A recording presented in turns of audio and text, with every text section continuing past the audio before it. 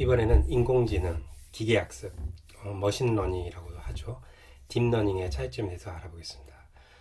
일단 첫 번째로 인공지능, artificial intelligence는 우리가 일반적으로 많이 들어봤던 어, 인위적으로 어떤 사람과 같은 지능을 만들어내는 포괄적인 의미로 사용하고 있고요. 그거를 구현하는 방법이 여러 가지가 있을 텐데 그 중에 하나의 방법이 machine learning이 되겠습니다. 그리고 이 machine learning은 어, 기본적으로 사람과 유사하게 어떤 방법론을 데이터로부터 학습하는 거가 되는데 그 데이터를 학습하는 방식이 또 여러 가지가 있을 텐데요. 뭐 decision tree라든지 SVM이라든지 그 중에 하나의 방식이 또 deep learning이라는 게 있겠습니다. 그래서 요즘 가장 어, AI 분야에서 각광받고 어, 어, 능력을 잘 표현하고 있는 방식이 바로 deep learning이 되겠는데 이거의 차이점에 대해서 아주 간략하게 살펴보도록 하겠습니다. 먼저 AI, 어, 인공지능 intelligence는 인간의 지능이나 행동 패턴을 흉내내는 기술로서 어, symbolic AI나 기계학습, deep learning 들을 모두 포함하는 포괄적인 의미다라고 말할 수 있습니다. 어, 표현이 좀 어려울 수 있는데 symbolic AI는 우리가 알고 있는 익숙한 바로 그 방식입니다. 즉 프로그래머가 직접 데이터를 어떻게 처리하는지 방법을 명시적으로 알아내서 그 규칙을 구현해서 인공지능을 구현하는 방법이라고 할 수 있겠습니다. 즉 뭐 체스 게임이라든지 전문가 시스템이라든지 다음 장에서 숫자 분류하는 거를 어, symbolic AI 방식으로 어떻게 하는지 한번 보겠습니다. 즉 기본적으로 우리가 알고 있는 방식입니다. 우리가 코딩을 한다고 하면 데이터를 어떤 식으로 처리해서 답을 내는데 어떤 식으로 처리하는지를 우리가 코딩을 하죠.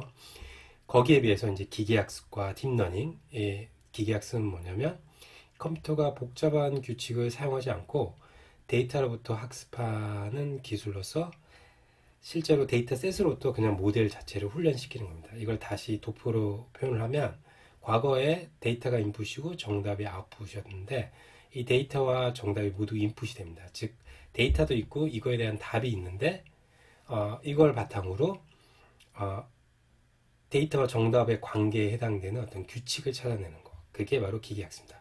이 규칙을 찾아내면 다음 새로운 문제가 나왔을 때 우리는 예측을 하고 분별을 하고 판단을 할 수 있겠죠. 이런 기계학습의 한 분야로 어, 인간의 뇌 신경계랑 유사하게 어떤 연속된 층을 이용해서 활용하는 기계학습의 한 종류를 우리는 딥런이라고 하고 있습니다. 간단한 예제를 통해서 한번 다시 한번 심볼릭 AI나 일반적인 우리 프로그램 코딩 한 거랑 기계학습과의 차이를 한번 볼까요? 예를 들어서 어, 뭐 만장에 2라는 필기체가 있고 만장에 7이라는 7이라는 어떤 이미지가 있을 때 어, 임의로 2나 7에 해당되는 이미지를 보여주고 이게 2에 해당되는지 7에 해당되는지를 판별하는 문제가 있다고 하면 우리가 심볼릭 AI나 일반적인 프로그램을 한다라고 하면 이렇게 접근을 할 것 같습니다. 즉 어, 2와 7의 특성을 먼저 추출한 다음에 그 특성들을 판단하는 규칙을 만들고 그 규칙을 코드에 심어서 어, 우리가 2와 7을 분별하는 게 있습니다. 뭐 예를 들어서 이게 정답은 아니지만 얼핏 바로 생각할 수 있는 거는 이렇습니다. 예를 들어서 글자가 있는데 윗부분에 가로액이 있으나 아랫부분에는 가로액이 없으면 7로 하고 위에도 가로액이 있고 아래도 가로액이 있으면 2에 해당된다.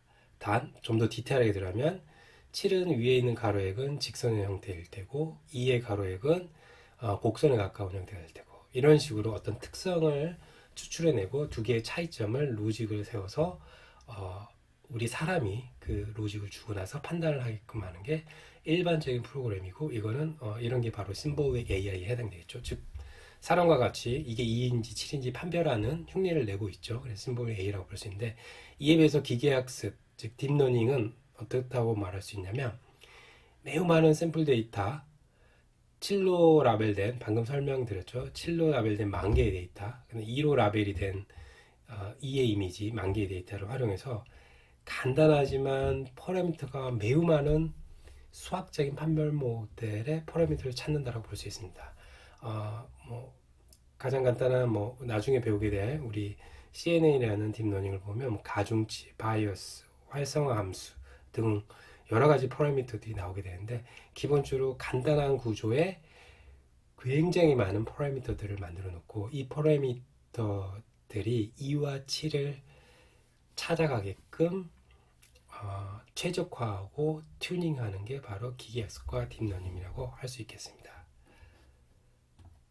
자 마지막으로 다시 정리를 해보면 인공지능은 말 그대로 어, 사람과 같은 유사한 지능을 구현하는 방법론이기 때문에 수많은 어, 다양한 방법들이 존재할 수 있을 테고 그 중에 machine learning이라는 것은 간단하게 데이터로부터 어, 정답이 있는 데이터로부터 이 두 개 사이에 어떤 규칙이 있는지를 찾아내가는 전통적인 방식과 다른 찾아내는 방법으로 decision tree, SVM, k-means, clustering 등등등 여러 가지가 있고 그 방법 중에 이렇게 데이터로부터 규칙을 학습하는 방법 중에 어, 사람들의 신경계처럼 여러 개의 층이 어, 가중치를 가지고 바이어스를 가지고 또 활성화 함수, 시냅시스처럼 활성화 함수를 갖는 이런 아주 간단한 층을 복잡하게 쭉 연결해서 그 수많은 parameter를 찾아가는 어, deep learning 방법이 있겠습니다.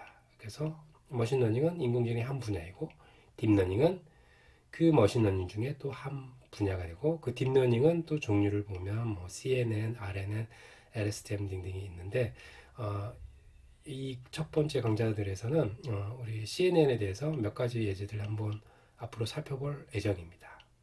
네, 감사합니다.